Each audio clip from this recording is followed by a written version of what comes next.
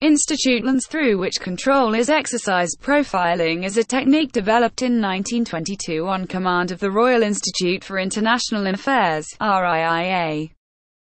Major John Rawlings Rees, a British Army technician, was instructed to set up the largest brainwashing facility in the world at the Tavistock Institute for Human Relations as a part of Sussex University.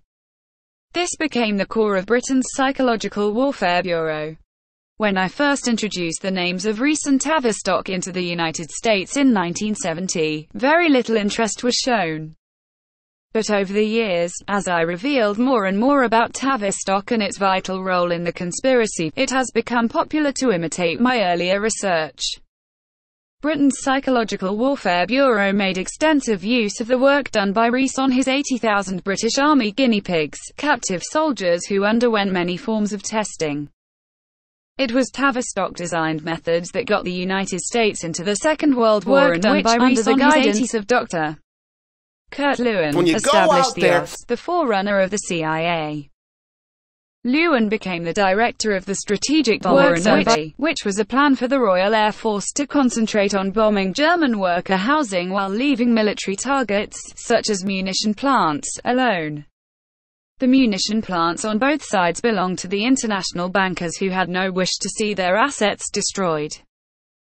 Later, after the war was over, NATO ordered Sussex University to establish a very special brainwashing centre which became part of Britain's Psychological Warfare Bureau, only now, its research was directed toward civilian rather than military applications. We shall return to that super-secret unit which was called Science Policy Research Institute SPRI, under our chapters on drugs. The idea behind saturation bombing of civilian worker housing was to break the morale of the German worker. It was not designed to affect the war effort against the German military machine. Lewin and his team of actuaries reached a target figure, that if 65% of German worker housing was destroyed by nightly RAF bombing, the morale of the civilian population would collapse. The actual document was prepared by the Prudential Assurance Company. The RAF, under the command of Bomber Harris, carried out Lewin's plans, culminating in the Terrifier storm bombing of Dresden, in which over 125,000, mainly old men, women and children, were killed. The truth of Bomber Harris's horror raids on German civilians was a well-kept secret until long after the end of WW2. Tavistock provided most of the detailed programs that led to the establishing of the Office of Naval Intelligence, ONI, the number one intelligence service in the United States, one which dwarfs the CIA in size and scope. Contracts worth billions of dollars were given to Tavistock by the United States government and Tavistock's strategic planners provide most of what the Pentagon uses for our defense establishment, even today. Here again is illustrated the grip the Committee of 300 has on the United States, and the majority of our institutions. Tavistock runs over 30 research institutions in the United States, all of which we will name in our charts at the end of the book. These Tavistock U.S. institutions have in many cases grown into gargantuan monsters, penetrating every aspect of our government agencies and taking command of all policy making. One of Tavistock's chief wreckers of our way of life was Dr. Alexander King, a founder member of NATO and a favorite with the Committee of 300, as well as an outstanding member of the Club of Rome. Dr. King was assigned by the Club of Rome to destroy America's education by taking control of the National Teachers Association and working in close conjunction with certain lawmakers and judges. If it was not generally known how all-pervading is the influence of the Committee of 300, this book should dispel every vestige of that doubt. The trial run for the Federal Emergency Management Agency, FEMA, a Club of Rome creation came in a test run against the nuclear power station at Three Mile Island, Harrisburg, Pennsylvania. Termed an accident by the hysterical media, this was not an accident but a deliberately designed crisis test for FEMA. An additional benefit was the fear and hysteria created by the news media, which had people fleeing the area when in fact they were never in any danger. It was considered a success by FEMA and it scored a lot of points for the anti-nuclear forces. TMI became the rallying point for the so-called environmentalists, a highly financed and controlled group run out of Aspen Institute on behalf of the Club of Rome. Coverage was provided, free of charge by William Paley of CBS Television, a former British intelligence agent. FEMA is a natural successor to the Strategic Bombing Survey of WW2. Dr.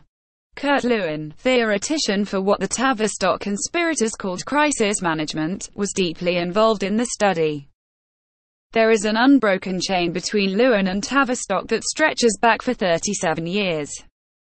Lewin incorporated the strategic bombing survey into FEMA, with only a few small adjustments proving necessary, one of the changes being the target, which was no longer Germany but the United States of America. 45 years after the end of WW2 it is still Tavistock that has its hands on the trigger, and the weapon is pointed at the United States. The late Margaret Mead conducted an intensive study of the German and Japanese population, under the aegis of Tavistock, on how they reacted to stress caused by aerial bombardment. Irving Janis was an associate professor on the project which was supervised by Dr. John Rawlings Rees, promoted to brigadier general in the British Army. The test results were given to FEMA. The Irving Janis report was of great value in formulating FEMA policies. Janis used it in a book which he later wrote entitled Air War and Stress. The ideas in his book were followed to the letter by FEMA during the Three Mile Island crisis. Janis had a really simple idea, simulate a succession of crises and manipulate the population following the Lewin terror tactics and they will do exactly as required.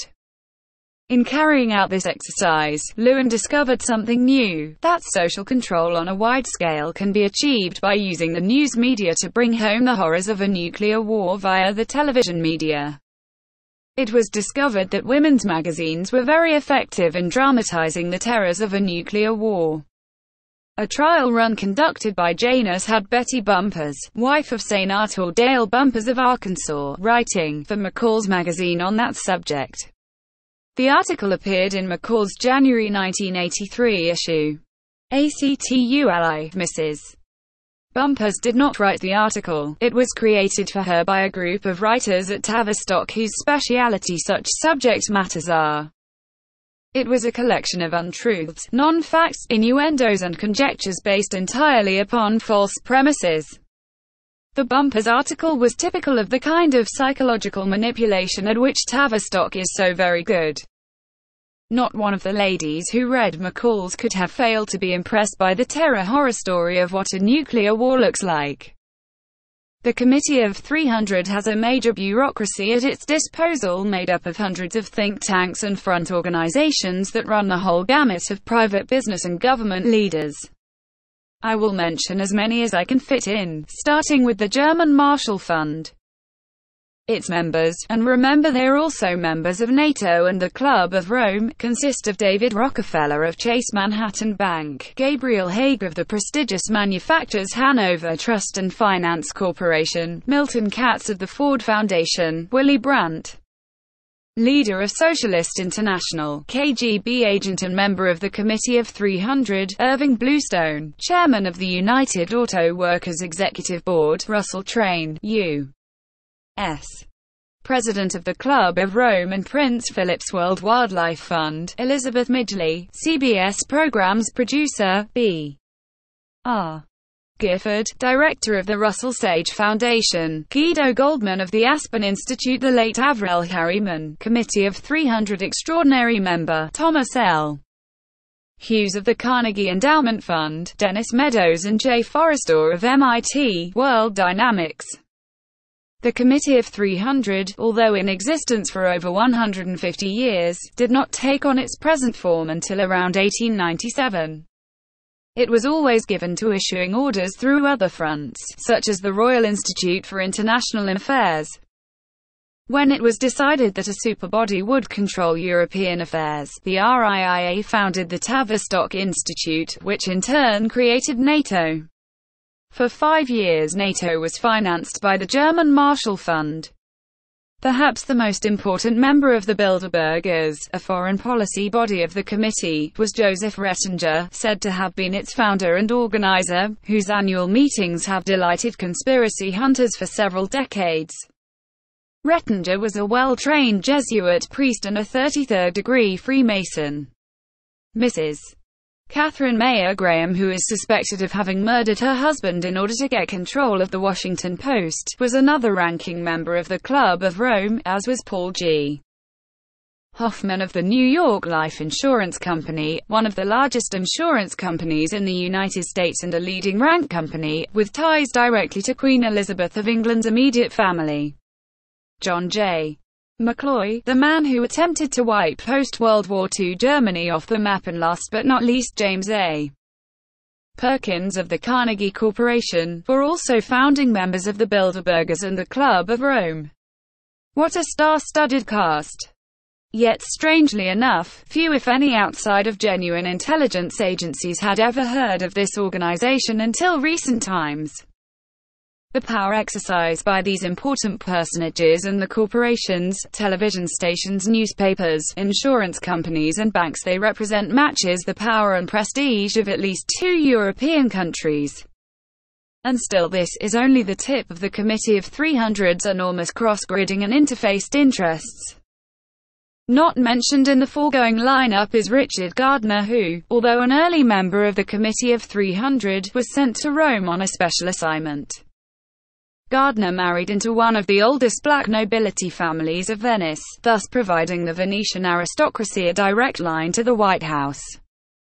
The late Averell Harriman was another of the committee's direct links with the Kremlin and the White House, a position which Kissinger inherited after the death of Harriman.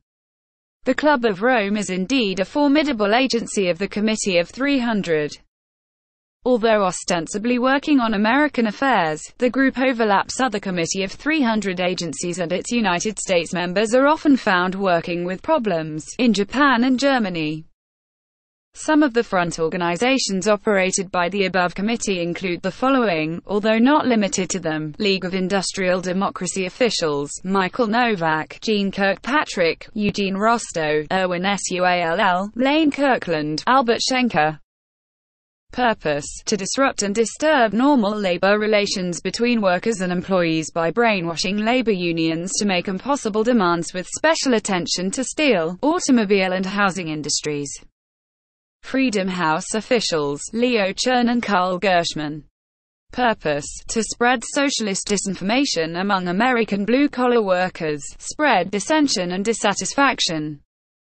Now that these objectives have been largely realized Gershman has been drafted by Lawrence Eagleburger to CDC, a newly created body to stop a united Germany from expanding its trade into the Danube Basin. Committee for a Democratic Majority officials, Ben Wattenberg, Jeane Kirkpatrick, Elmo Zumwalt and Midge Decter purpose, to provide a connecting link between the educated socialist class and minority groups with the intent of setting up a solid block of voters who can be counted on to vote for left-wing candidates at election time. It was really a Fabianist operation from start to finish.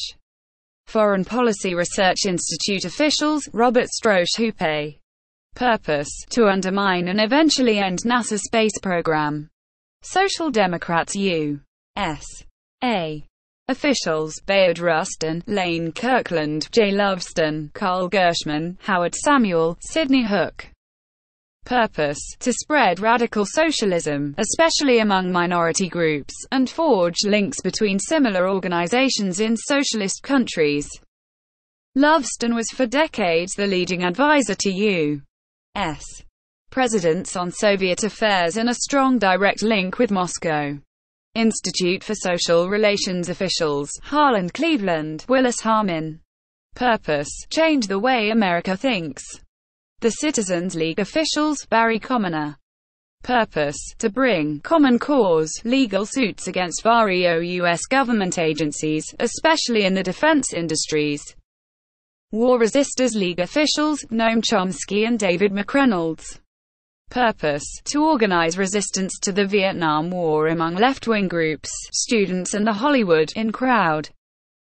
The Democratic Socialist Organizing Committee of the Institute for Democratic Socialism officials, Frank Seider, Arthur Redier, and David McReynolds.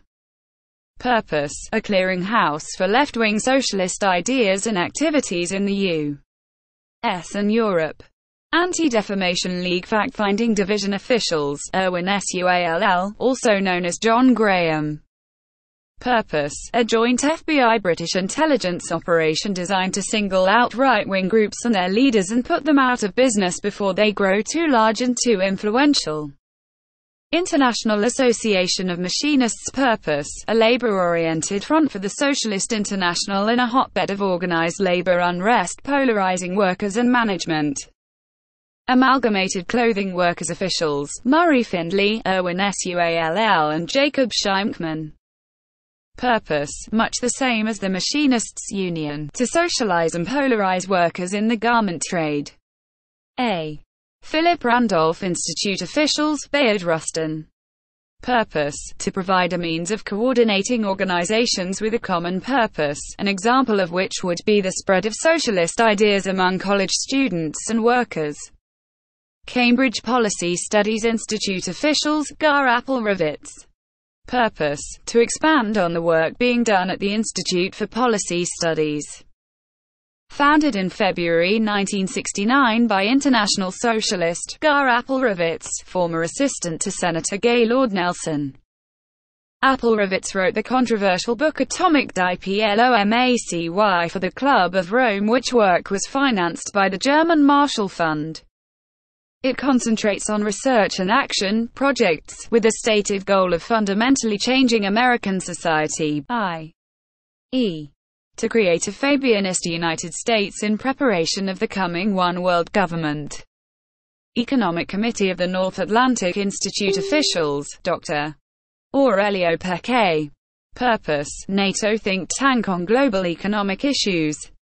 Center for the Study of Democratic Institutions officials, founder Robert Hutchins of the Committee of 300, Harry Ashmore, Frank Kelly and a large group of fellows. Purpose, to spread ideas that will bring on social reforms of the liberal kind with democracy as an ideology. One of its activities is to draft a new constitution for the U.S., which will be strongly monarchical and socialistic as found in Denmark. The center is in Olympian Stronghold. Located in Santa Barbara, it is housed in what is affectionately called the Parthenon. Former Representative John Rarick called it an outfit loaded with communists. By 1973 work on a new United States Constitution was in its 35th draft which proposes an amendment guaranteeing environmental right, the thrust of which is to reduce the industrial base of the U.S to a mere whisper of what it was in 1969. In other words, this institution is carrying out Club of Rome zero-growth post-industrial policies laid down by the Committee of 300. Some of its other aims are control of economic cycles, welfare, regulation of business and national public works, control of pollution, Speaking on behalf of the Committee of 300, Ashmore says the function of the CSDI is to find ways and means of making our political system work more effectively. We must change education and we must consider a new U.S. constitution and a constitution for the world, Ashmore says. Further goals enunciated by Ashmore as follows. 1. Membership of the U.N. must be made universal. 2. The U.N must be strengthened. 3. Southeast Asia must be neutralized. For neutralized spread, communized. 4. Cold War must be ended. 5. Racial discrimination must be abolished. 6. Developing nations must be assisted. Meaning assisted to destruct. 7. No military solutions to problems. Pity they didn't tell George Bush that before the Gulf War. 8. National solutions are not adequate. 9. Coexistence is necessary. Harvard Psychological Clinic officials, Dr. Kurt Lewin and staff of 15 new science scientists. Purpose, to create a climate where the Committee of 300 can take unlimited power over the U.S. Institute for Social Research officials, Dr. Kurt Lewin and staff of 20 new science scientists. Purpose, to devise a whole new set of social programs to steer America away from industry. Science Policy Research Unit officials, Leland Bradford, Kenneth Dam, Ronald Lippitt. Purpose, at Future Shocks research institution at Sussex University in England and part of the Tavistock Network. Systems Development Corporation officials, Sheldon Arenberg and a staff of hundreds, too numerous to mention here. Purpose, to coordinate all elements of the intelligence communities of the U.S. A. and Britain. It analyzes what players have to be assigned the role of a national entity. For example, Spain would come under a supine watered-down Catholic Church, the U.N. under the Secretary-General and so forth. It developed the system of X-ray 2, where think tank personnel, military installations and law enforcement centers are all linked to the Pentagon through a nationwide network of teletypes and computers, to apply surveillance techniques on a nationwide scale. Arenberg says his ideas are non-military, but his techniques are mainly those he learned from the military. He was responsible for the New York State Identification and Intelligence System, a typical George Orwell 1984 project, which is completely illegal under our Constitution. The NYSIIS system is in the process of being adopted nationwide. It is what Brzezinski referred to as the ability to almost instantaneously retrieve data about any person. NYSIIS shares data with all law enforcement and government agencies in the state.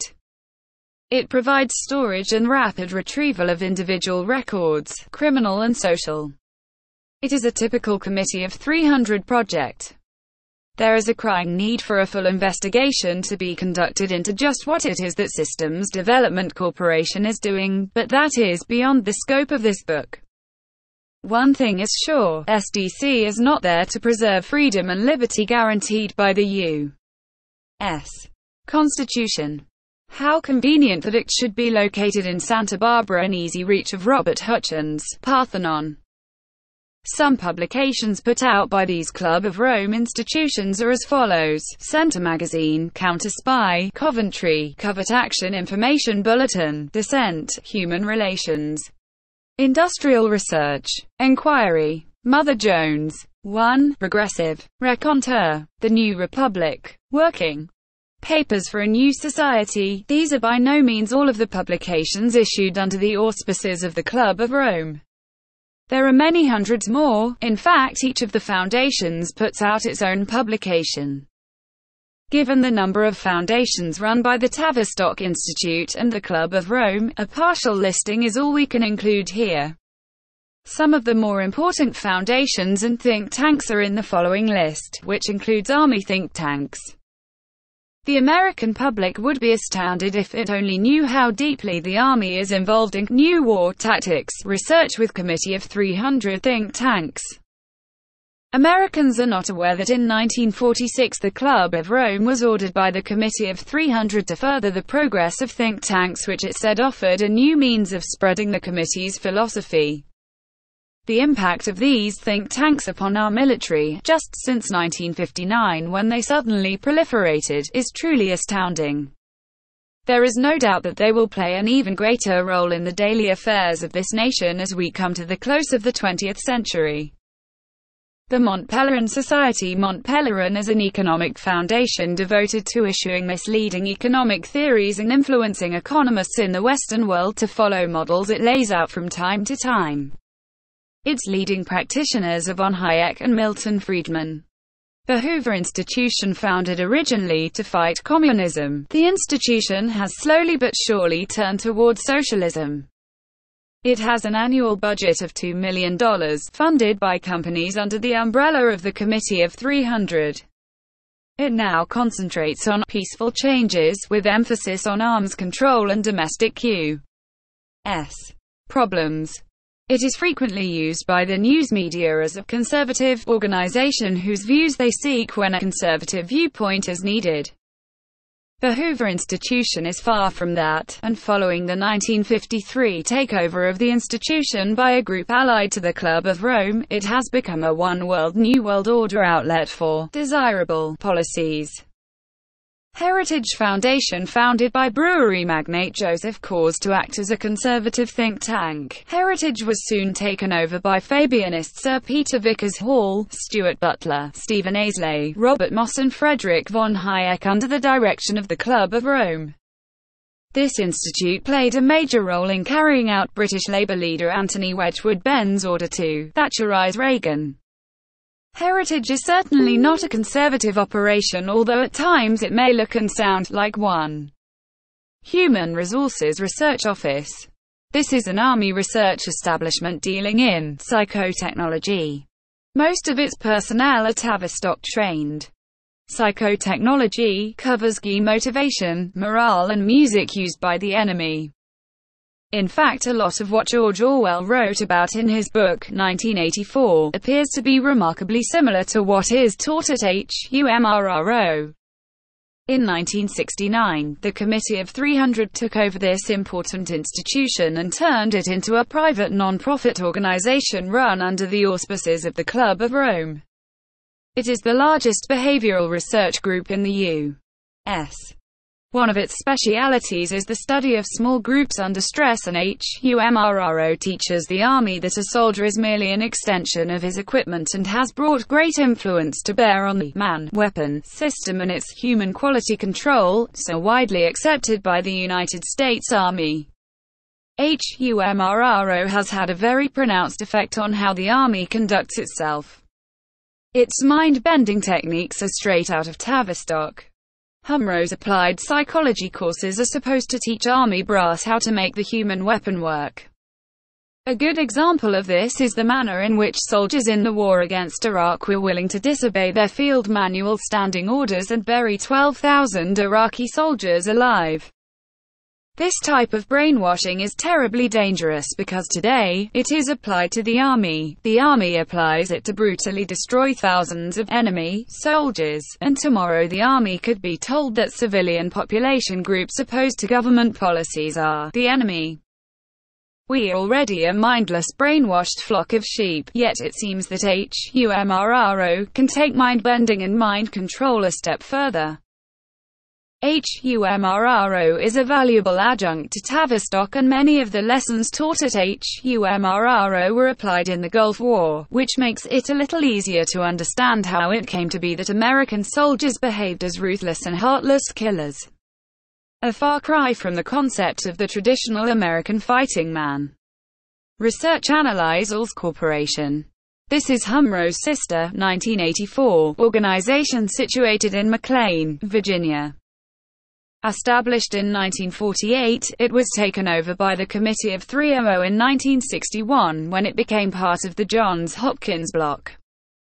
It has worked on over 600 projects, including integrating Negroes into the Army, the tactical use of nuclear weapons, psychological warfare programs and mass population control. Obviously there are many more major think tanks, and we shall come to most of them in this book.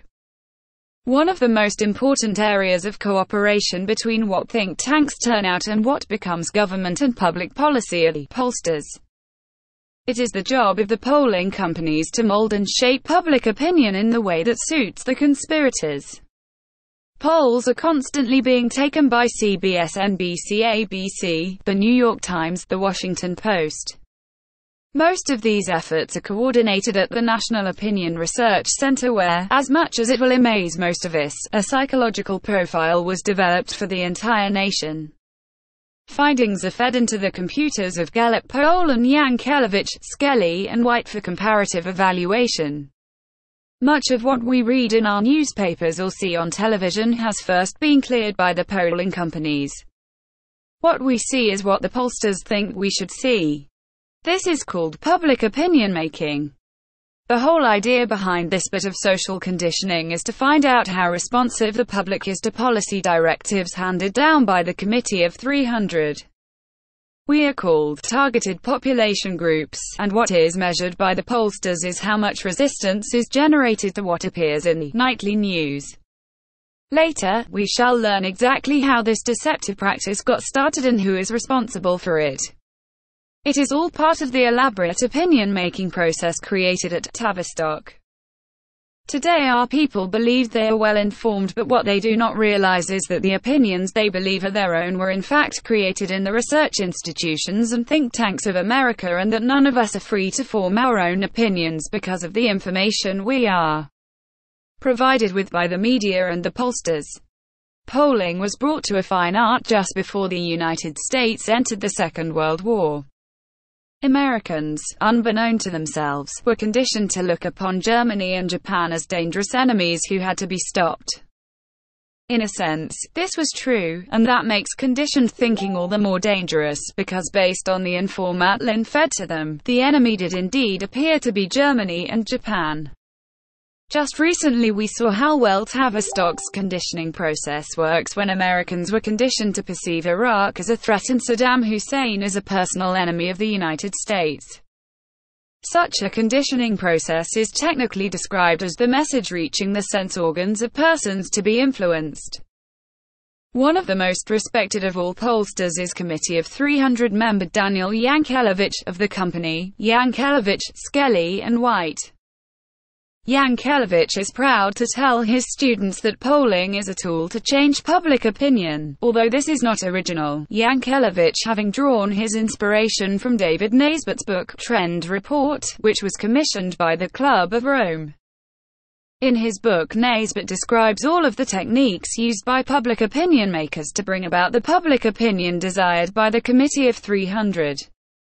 Public opinion making is the jewel in the crown of the Olympians, for with their thousands of new science social scientists at their beck and call, and with the news media firmly in their hands, new public opinions on almost any subject can be created and disseminated around the world in a matter of two weeks. This is precisely what happened when their servant George Bush was ordered to make war on Iraq. Within two weeks, not only the U.S but almost the entire world public opinion was turned against Iraq and its president Saddam Hussein. These media change artists and news manipulators report directly to the Club of Rome which in turn reports to the Committee of 300 at whose head sits the Queen of England ruling over a vast network of closely linked corporations who never pay taxes and are answerable to no one who fund their research institutions through foundations whose joint activities have almost total control over our daily lives.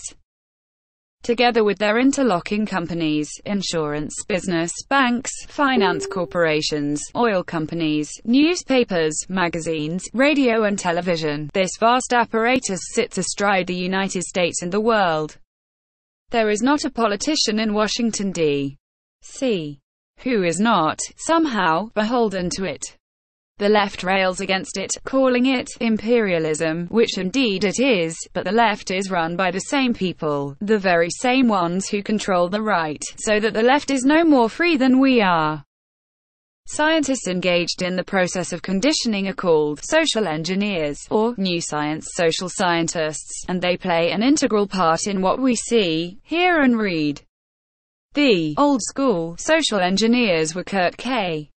Lewin, Professor Hadley Cantril, Margaret Mead, Professor Derwin Cartwright and Professor Lipset who, together with John Rawlings Rees, made up the backbone of new science scientists at Tavistock Institute. During the Second World War, there were over 100 researchers at work under the direction of Kurt Lewin, copying slavishly the methods adopted by Reinhard Heydrich of the S. S. The OSS was based on Heydrich's methodology. As we know, the OSS was the forerunner of the Central Intelligence Agency. The point of all this is that the governments of Britain and the United States already have the machinery in place to bring us into line in a new world order with only a slight modicum of resistance materializing, and this machinery has been in place since 1946. Each passing year has added new refinements. It is this Committee of 300 which has established control networks and mechanisms far more binding than anything ever seen in this world. Chains and ropes are not needed to restrain us. Our fear of what is to come does that job far more efficiently than any physical means of restraint. We have been brainwashed to give up our constitutional right to bear arms, to give up our constitution itself, to allow the United Nations to exercise control over our foreign policies and the IMF to take control of our fiscal and monetary policies, to permit the President to break United States law with impunity and to invade a foreign country and kidnap its head of state. In short we have been brainwashed to the extent where we, as a nation, will accept each and every lawless act carried out by our government almost without question. I for one know that we will soon have to fight to reclaim our country from the committee, or lose it forever. But when it comes right down to it, how many will actually take up arms? In 1776 only 3% of the populace took up arms against King George III. This time around, 3% will be woefully inadequate. We should not allow ourselves to be led down dead-end roads, for that is what our mind controllers have planned for us by confronting us with such a complexity of issues that we simply succumb to long-range penetration and make no decisions at all on many vital issues. We shall be looking at the names of those who make up the Committee of 300 but, before we do that, we should examine the massive interfacing of all important institutions, companies and banks under the committee's control. We must mark them well because these are the people who are deciding who shall live and who shall be eliminated as useless eaters, where we will worship God, what we must wear and even what we shall eat. According to Brzezinski, we shall be under endless surveillance around the clock for 365 days a year ad infinitum.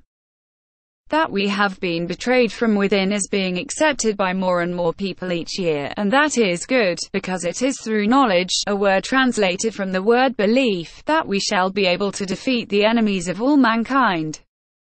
While we were being distracted by the bogey men in the Kremlin, the Trojan horse was moved into position in Washington, D.C. The greatest danger free people face today is not from Moscow but from Washington, D.C. We need first to conquer the domestic enemy, and after that we will be strong enough to mount an offensive to remove communism from the earth together with all of its attendant ISMS.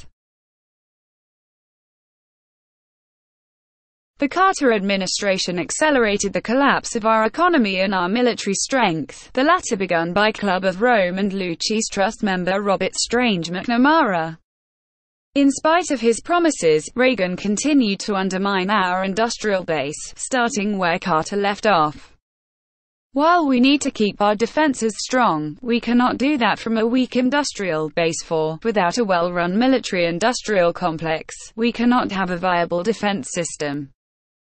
The Committee of 300 recognizes this and planned from 1953 its zero-growth post-industrial policies now in full flower. Thanks to the Club of Rome our technology potential has dropped below that of Japan and Germany, nations we are supposed to have defeated in the Second World War. How has this come about? Because of men like Dr.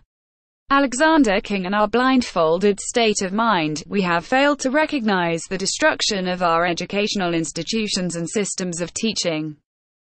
As a result of our blindness, we are no longer training engineers and scientists in sufficient numbers to keep us among the industrialized nations of the world. Thanks to Dr. King, a man very few people in America know about, education in the U.S is at its lowest level since 1786. Statistics produced by the Institute for Higher Learning show that the reading and writing capabilities of high school children in the United States are lower than they were among high school children in 1786. What we face today is not only the loss of our freedom and the very fabric of our nation, but far worse, the possibility of the loss of our souls. The steady chipping away at the foundation upon which this republic rests has left an empty void, which Satanists and cultists are rushing to fill with their synthetic soul material. This truth is difficult to accept and appreciate because there was nothing sudden about these events. If a sudden shock were to hit us, a cultural and religious shock, we would be shaken out of our apathy. But gradualism, which is what Fabianism is, does nothing to raise the alarm. Because the vast majority of Americans can see no motivation for the things I have described, they cannot accept it, and so the conspiracy is scorned and often mocked. By creating chaos through presenting hundreds of daily choices our people have to make, we have come down to a position where, unless motivation can be clearly shown, all information is rejected. This is both the weak and the strong link in the conspiratorial chain. Most thrust aside anything that has no motive, so the conspirators feel safe behind the ridicule poured upon those who point to the coming crisis in our nation and our individual lives. However, if we can get enough people to see the truth, the motivation block gets weaker until it will eventually be forced aside as more and more people become enlightened and the notion that this cannot happen in America is dispensed with. The Committee of 300 is counting on our maladaptive responses to govern our reaction to created events, and it will not be disappointed as long as we as a nation continue in the present way we respond. We must turn responses to created crises into adaptive responses by identifying the conspirators and exposing their plans for us, so that these things become public knowledge. The Club of Rome has already made the transition to barbarism. Instead of waiting to be raptured, we must stop the Committee of 300 before it can accomplish its goal of making us prisoners of the new Dark Age planned for us. It is not up to God, it is up to us. We have to take the necessary action. All information that I provide in this book comes from years of research backed up by impeccable intelligence sources. Nothing is exaggerated. It is factual and precise, so do not fall into the trap set by the enemy that this material is disinformation. For the past two decades I have provided information which has proved to be highly accurate and which has explained a lot of puzzling events. My hope is that through this book, a better, clearer and wider understanding of the conspiratorial forces ranged against this nation will come about. That hope is being realized as more and more young people are beginning to ask questions and seek information about what is really going on. It is difficult for people to comprehend that these conspirators are real and that they have the power I and many others have attributed to them. Many have written to ask how it is that our government does nothing about the terrible threat to civilization. The problem is that our government is part of the problem, part of the conspiracy, and nowhere and at no time has this become more clearly evident than during the Bush presidency. Of course President Bush knows precisely what the Committee of 300 is doing to us. He works for them. Others have written to say, we thought we were fighting the government. Of course we are, but behind government stands a force so powerful and all-encompassing that intelligence agencies are even afraid to mention the name, Olympians. Proof of the Committee of 300 is found in the vast number of powerful institutions owned and controlled by it.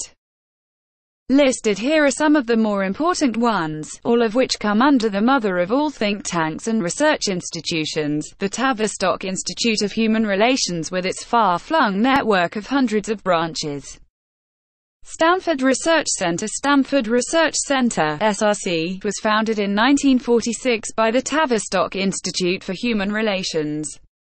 Stanford was created to help Robert Zero Anderson and his Arco Oil Company, who had secured for the Committee of 300 the oil rights on the North Slope of Alaska.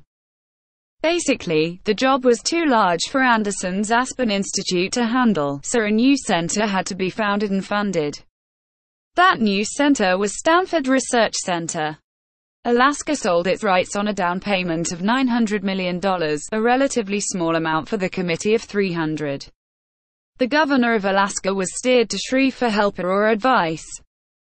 This was no accident but the result of judicious planning and a process of long-range conditioning. Following the governor's call for help, three SRI scientists set up shop in Alaska where they met with the Alaskan Secretary of State and the State Planning Office. Francis Greene, who headed the SRI team, assured the governor that his problem of how to handle the rich oil find would be safe in the hands of SRI. Naturally Greene did not mention the Committee of 300 or the Club of Rome. In less than a month Greene assembled a team of economists, petroleum scientists and new science scientists numbering in the hundreds. The report SRI gave to the governor ran to 88 pages. The proposal was adopted virtually without change by the Alaska legislature in 1970. Greene had indeed done a remarkable job for the Committee of 300. From this beginning Shri developed into an institution employing 4,000 people with an annual budget of $160 million plus. Its president, Charles A. Anderson, has seen much of this growth during his tenure, as has Professor Willis Harman, director of the Shri Center for the Study of Social Policies, employing hundreds of new science scientists, many of the top staffers having been transferred from Tavistock's London base. One of those was RCA board chairman and former British intelligence agent, David Sarnoff, who was closely involved with Harman and his team for 25 years. Sarnoff was something of a watchdog for the Mother Institute in Sussex. Stanford claims to make no moral judgments on projects it accepts, working for Israel and the Arabs, South Africa and Libya but, as one would imagine, by adopting this attitude it ensures an inside edge with foreign governments that the CIA has found most useful. In Jim Ridgeway's book, The Closed Corporation, Shri spokesman Gibson brags about Shri's non-discriminatory stance. Although not on the Federal Contract Research Center lists, Shri is today the largest military think tank, dwarfing Hudson and Rand. Among CERL's specialty departments are chemical and biological warfare experimental centers. One of Stanford's more dangerous activities is counterinsurgency operations aimed at civilian populations just the sort of 1984 things government is already using against its own people. The U.S.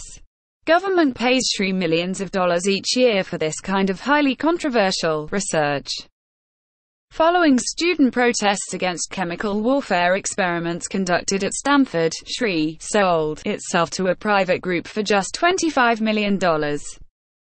Of course nothing really changed, Shri was still a Tavistock project and the Committee of 300 still owned it, but the gullible appeared to be satisfied by this meaningless cosmetic change.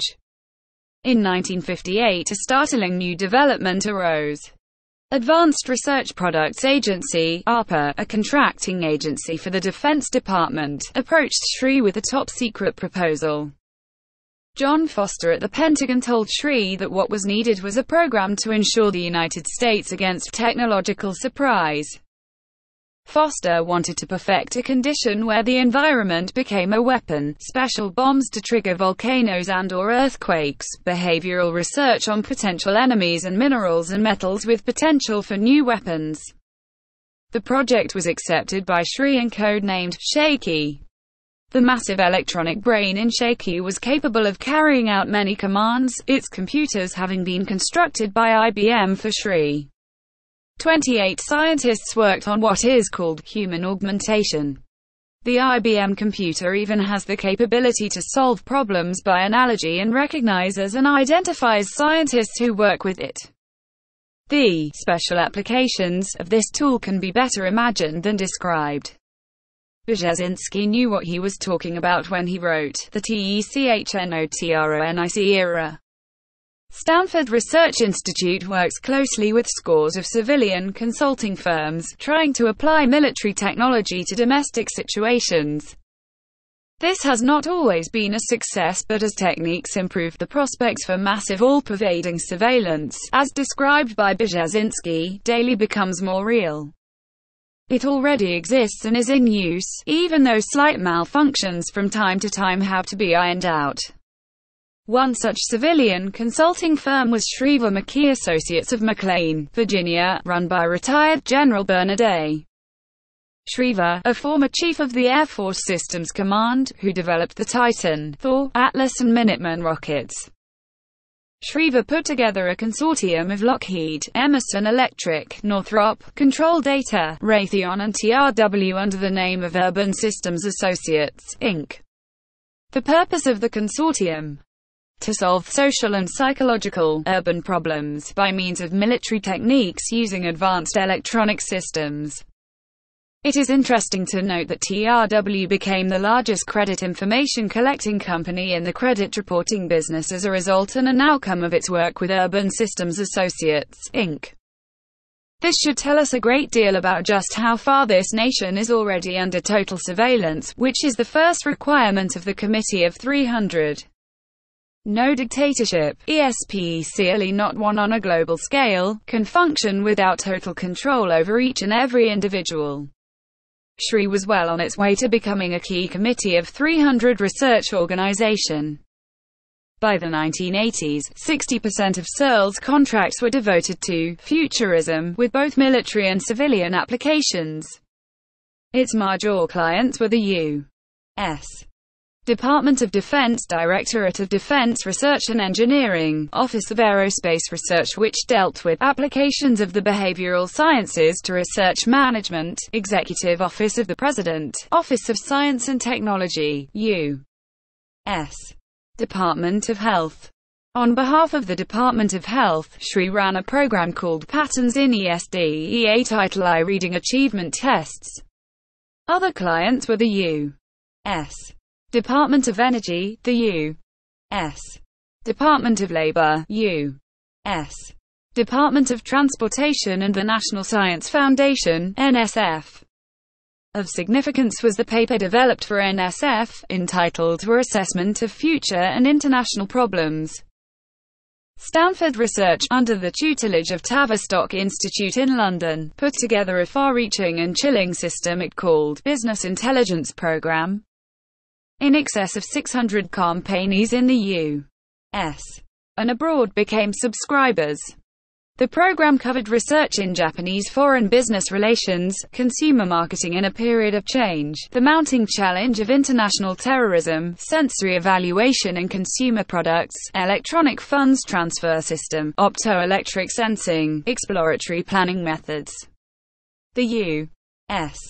Defense industry and capital availability among the top committee of 300 companies who became clients of this program were Bechtel Corporation, George Shultz was on its board, Hewlett-Packard, TRW, Bank of America, Shell Company, RCA, Blyth, Eastman Dillon, Saga Foods Corporation, McDonnell Douglas, Crown Zellerbach, Wells Fargo Bank and Kaiser Industries but one of the most sinister of all SRI programs with the possibilities of doing tremendous damage in altering the direction in which the United States will go, socially, morally and religiously, was Stanford's Charles F.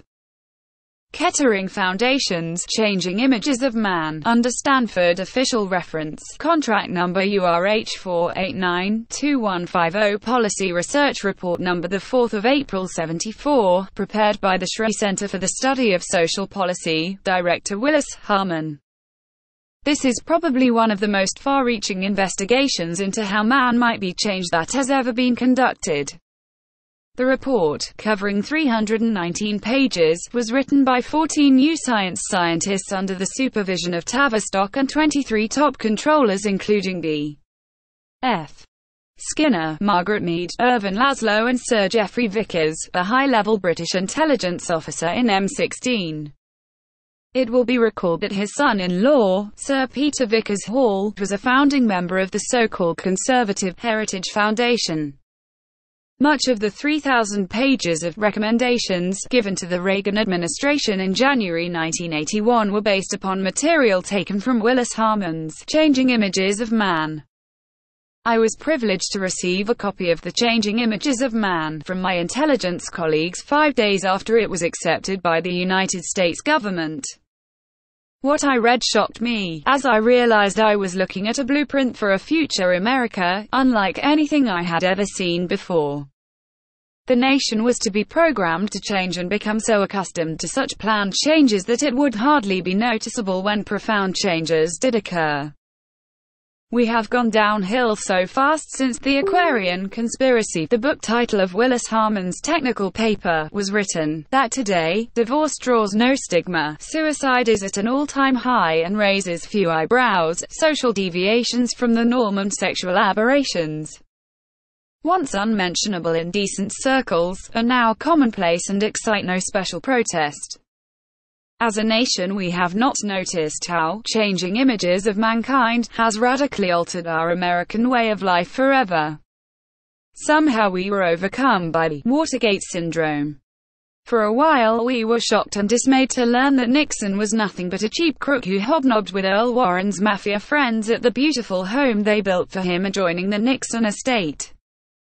When too many future shocks and news headlines demanded our attention, we lost our way, or rather, the huge number of choices with which we were and still are daily confronted, confused us to such a degree that we were no longer able to make the necessary choices. Worse yet, having been subjected to a barrage of crimes in high places, plus the trauma of the Vietnam War, our nation seemed no longer to want truths. Such reaction is carefully explained in Willis Harman's technical paper. In short, the American nation was reacting exactly as profiled. Worse yet, in not wishing to accept truth, we took matters a step further, we looked to government to shield us from the truth. The corrupt stench of the Reagan-Bush administrations we wanted covered with six feet of earth. The crimes committed under the title of Iran, Contra affair, or scandals, we didn't want uncovered. We let our president lie to us regarding his whereabouts in the period October 20 to 23 Road, 1980. Yet these crimes far exceed in quantity and scope anything Nixon did while he was in office. Do we as a nation recognize it as going downhill with our brakes off? No, we do not when those whose business it is to bring the truth to the American people that a private, well-organized little government inside the White House was busy committing one crime after another, crimes which attacked the very soul of this nation and the Republican institutions upon which it rested. We were told not to bother the public with such things. We really don't want to know about all this speculation, became a standard response. When the highest elected official of the land blatantly put you N. Law above the Constitution of the United States an impeachable offense, the majority accepted it as normal. When the highest elected official of the land went to war without a congressional declaration of war, the fact was censored out by the news media and, again, we accepted it rather than face the truth. When the Gulf War, which our president plotted and planned, began, not only were we happy with censorship of the most blatant kind, we even took it to our hearts, believing that it was good to the war effort. Our president lied, April Glaspie lied, the State Department lied. They said the war was justified because President Hussein had been warned to leave Kuwait alone. When Glaspie's cables to the State Department were finally made public, one United States senator after another went charging to defend Glaspie, the harlot. It mattered not that they came from both the Democrats and the Republicans. We, the people, let them get away with their vile lies. In this public attitude of the American people, the wildest dreams of Willis Harman and his teams of scientists became a reality. The Tavistock Institute was elated at its success in destroying the self-respect and self-esteem of this once great nation. We are told that we won the Gulf War. What is not yet perceived by the vast majority of Americans is that, in winning the war, it cost the self-respect and honor of our nation that lies rotting in the desert sands of Kuwait and Iraq, alongside the corpses of the Iraqi soldiers we butchered in the agreed retreat from Kuwait and Basra we could not keep our word that we would abide by the Geneva Conventions and not attack them. What do you want? Our controllers asked us, victory or self-respect? You can't have both. 100 years ago, this could not have happened, but now it has happened and excites no comment. We have succumbed to the long-range penetration warfare waged against this nation by Tavistock. Like the German nation, defeated by the Prudential bombing survey, enough of us have succumbed to make this nation the kind that totalitarian regimes of the past would have only envisaged in their dreams. Here, they would say, is a nation, one of the largest in the world, that doesn't want the truth. All of our propaganda agencies can be dispensed with. We don't have to struggle to keep the truth from this nation, they have willingly rejected it of their own volition. This nation is a pushover.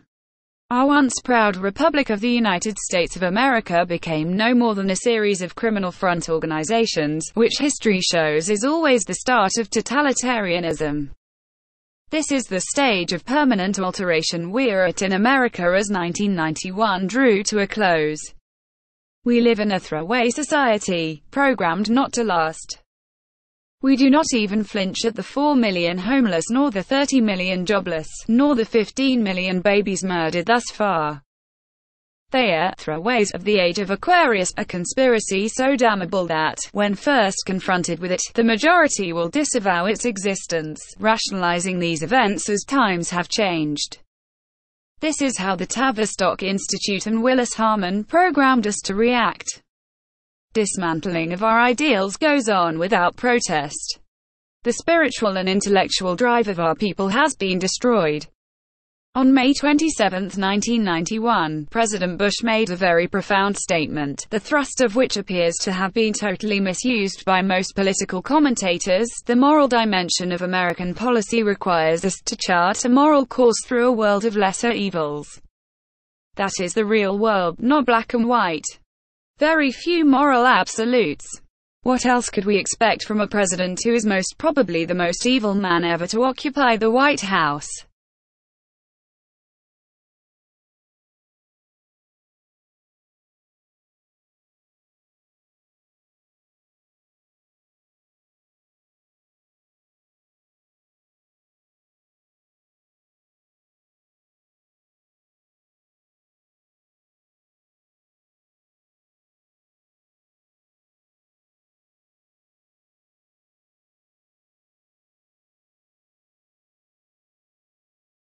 What else could we expect from a president who is most probably the most evil man ever to occupy the White House? Consider this in the light of his order to the military to bury alive 12,000 Iraqi soldiers. Consider this in the light of his ongoing war of genocide against the Iraqi people. President Bush was delighted to characterize President Saddam Hussein as the Hitler of our times. He never bothered to offer a single scrap of proof. It was not needed. Because President Bush made the statement, we accepted it without question. Consider this in the bright light of truth, that he did all of these things in the name of the American people while secretly taking his orders from the Committee of 300. But, more than anything else, consider this, President Bush and his controllers feel so secure that they no longer deem it necessary to hide their evil control of the American people, or to lie about it. This is self-evident in the statement that he, as our leader, will make all manner of compromises with truth, honesty and decency if his controllers, and ours, deem it necessary. On May 27, 1991, the President of the United States abandoned each and every principle embodied in our Constitution and boldly proclaimed that he was no longer bound by it. This is a great victory for the Tavistock Institute and the Prudential Bombing Survey, whose target changed from German worker housing in 1945 to the soul of the American people in a war that began in 1946 and runs through to 1992. Increased pressure on this nation for change was applied by Stanford Research Institute in the early 1960s. Searle's offensive gathered power and momentum. Switch on your television set and you will see Stanford's victory in front of your very eyes. Talk shows featuring heavy sexual details, special video channels where perversion, rock and roll and drugs reign supreme. Where once John Wayne ruled, we now have a made-over apology for a man, or is he? Called Michael Jackson, a parody of a human being who is held up as a hero, as he gyrates, shuffles, mumbles and screams his way across television screens in millions of American homes. A woman who has been through a series of marriages gets national coverage. One filthy, half-washed drug-ridden decolleté rock band after another has hours of airtime devoted to its inane sounds and mad gyrations, clothes fashions and language aberrations. Soap operas showing as near as damn it is to wearing pornographic scenes draw no comment. Whereas in early 1960 this would never have been tolerated, today it is accepted as normal. We have been subjected and we have succumbed to what Tavistock Institute calls future shocks, whose future is now and we are so numbed by one cultural shock after another that to protest seems like a futile gesture and, therefore, logically we think, it does no good to protest. In 1986 the Committee of 300 ordered the pressure turned up. The U.S. was not going down fast enough. The United States began the process of recognizing the butchers of Cambodia, the criminal Pol Pot regime, self-confesses to the murder of two million Cambodian citizens. In 1991, the wheel turned the full circle. The United States went to war against a friendly nation that had been programmed to trust the Washington traitors. We accused President Hussein of the small nation of Iraq of all manner of evil, none of which was even remotely true. We killed and maimed its children, we left him to starve and to die of all manner of diseases. In the same breath we sent the Bush emissaries of the Committee of 300 to Cambodia to recognize the evil mass murderers of 2 million Cambodians, who were sacrificed by the Committee of 300's depopulation of cities experiment, which the big cities of the United States will experience in the not-too-distant future. Now, President Bush and his Committee of 300 ridden administration say, in effect, look people, what do you want from me? I told you that I will compromise where I see fit, even when that means sleeping with the Pol Pot murderers. So what kiss my hips? The level of pressure for change will reach its peak in 1993 and we shall witness scenes such as we would never have thought possible. Punch-drunk America will react but ever so slightly. Not even the latest threat to our freedom, the personal computer card disturbs us.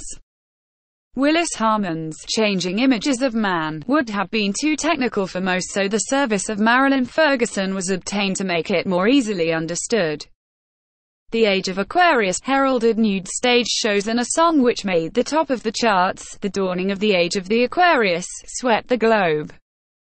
The personal computer card which, when fully distributed, will deprive us of our familiar environment and, as we shall see, environment means a lot more than the usually accepted meaning of the word. The United States has gone through a period of intense trauma such as has never been visited on any other nation in the history of the world, and the worst is yet to come. Everything is going according to what Tavistock ordered and what the social scientists at Stanford mapped out. Times do not change, they are made to change. All changes are pre-planned and come as the result of careful action. We have been changed gradually at first, but now the pace of change is picking up. The United States is being transformed from one nation under God to a polyglot of nations under several gods. The U.S. is no longer a one nation under God. The framers of the Constitution have lost the battle. Our forebears spoke a common language and believed in a common religion, Christianity, and held common ideals. There were no aliens in our midst, that came later in a deliberately planned attempt to break up the United States into a series of fragmented nationalities, cultures and beliefs. If you doubt this, go down to the east side of New York, or the west side of Los Angeles on any given Saturday and look around you. The United States has become several nations struggling to coexist under a common system of government. When the floodgates of immigration were opened wide by Franklin D. Roosevelt, a cousin of the head of the Committee of 300, the cultural shock caused great confusion and dislocation and made one nation an unworkable concept. The Club of Rome and NATO have exacerbated the situation. Love thy neighbor is an ideal that will not work unless your neighbor is as yourself. To the framers of our Constitution, the truths they laid out for future generations were self-evident, to themselves being unsure that future generations would also find the truths to which they bound this nation self-evident, they set about spelling them out. It seems that they were afraid of a time that might come when the truths they espoused would no longer be self-evident. The Tavistock Institute for Human Relations has made sure that what the framers feared might come to pass has indeed come to pass. That time has arrived with Bush and his no absolutes, and his New World Order under the Committee of 300. This is part of the concept of social change as forced upon Americans which Harman and the Club of Rome said would make for severe trauma and a great building up of pressure. The social upheavals that have taken place since the advent of Tavistock, the Club of Rome and NATO will continue in the U.S. for as long as the limit of absorption is ignored. Nations are made up of individuals and, like individuals, there is a limit to their ability to absorb changes, no matter how robust they may be. This psychological truth was well proven by the Strategic Bombing Survey which called for saturation bombing of German worker housing. As mentioned earlier, the project was the work of the Prudential Insurance Company and no one doubts today that Germany suffered its defeat because of this operation. Many of the scientists who worked on that project are working on saturation bombing of America, or else they have passed on, leaving their skilled techniques in the hands of others who followed behind them. The legacy they left behind them can be found in the fact that we have not so much lost our way as a nation, but that we have been steered in a direction opposite to that which the framers of the Declaration guided us for over 200 years. We have, in short, lost contact with our historical genes, our faith, which inspired countless generations of Americans to move forward as a nation, benefiting from the patrimony left to us by the framers of the Declaration of Independence and the United States Constitution. That we are lost is clear to all who seek the truth, as unpleasant as it may be. With President Bush and his no absolute morals guiding us, we blunder ahead as lost nations and individuals tend to do. We are collaborating with the Committee of 300 for our own downfall and our own enslavement. Some sense it and feel a strong sense of unease. The various conspiracy theories they are familiar with do not seem to cover it all. This is because they know nothing of the conspirators' hierarchy, the Committee of 300. These souls who feel a deep sense of unease and that something is radically wrong, yet cannot put their collective fingers on the problem, walk in darkness. They look to a future they see slipping away from them. The American dream has become a mirage. They place their faith in religion but take no steps to help that faith along by action. Americans will never experience a retracing of steps such as the Europeans experienced when at the height of the Dark Ages. By determined action, they awoke in themselves a spirit of renewal which resulted in the glorious Renaissance. The enemy that has directed them to this point decided to make a strong move against the United States in 1980, so that Renaissance of America would be impossible. Who is the enemy? The enemy is no faceless, they, the enemy is clearly identifiable as the Committee of 300, the Club of Rome, NATO and all of its affiliated organizations, the think tanks and research institutions controlled by Tavistock. There is no need to use they or the enemy, except as shorthand. We know who they, the enemy, is. The Committee of 300 with its Eastern liberal establishment, aristocracy, its banks, insurance companies, giant corporations, foundations, communications networks, presided over by a hierarchy of conspirators this is the enemy. This is the power that brought to life the reign of terror in Russia, the Bolshevik Revolution, World Wars I and II, Korea, Vietnam, the fall of Rhodesia, South Africa, Nicaragua, and the Philippines. This is the secret upper-level government that brought into existence the controlled disintegration of the U.S. economy and deindustrialized what was once the greatest industrial power, for good, that the world had ever known. America today can be compared with a soldier who falls asleep in the thick of battle. We Americans have fallen asleep, given way to apathy caused by being confronted with a multiplicity of choices which has confused us. These are the changes that alter our environment, break down our resistance to change so that we become dazed, apathetic and eventually fall asleep in the thick of battle. There is a technical term for this condition. It is called long-range penetration strain.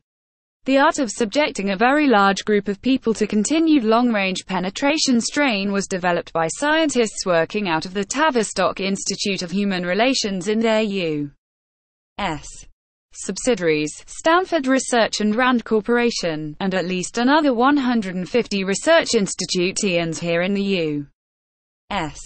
Dr. Kurt Lewin, the scientist who developed this fiendish warfare, has caused the average American patriot to fret over various conspiracy theories, leaving him or her with a feeling of uncertainty and insecurity, isolated and perhaps even afraid, as he searches but fails to understand the decay and rot caused by the changing images of mankind, unable to identify or combat the social, moral, economic and political changes he deems undesirable and does not want, yet which increase in intensity on every hand. Dr. Lewin's name will not be found in any of our establishment history books which, in any event, are a record of events mostly from the side of the ruling class or the victors of wars. Therefore, it is with pride that I introduce his name to you. As mentioned before, Drive.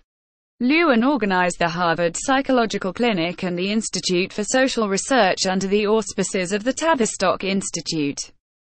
The names do not give much indication of the purpose of the two organizations. This reminds me of the infamous bill to reform coinage and mint laws passed in 1827. The title of the bill was harmless enough or sounded harmless, which was the intention of its backers. Through this act, Senator John Sherman betrayed the nation into the hands of the international bankers. Sherman allegedly sponsored the bill, without reading it. As we know, the bill's true purpose was to demonetize silver and give the thieving bankers unlimited power over the credit of our nation, powers to which the bankers were clearly not entitled under the clear and unmistakable terms of the U.S. Constitution.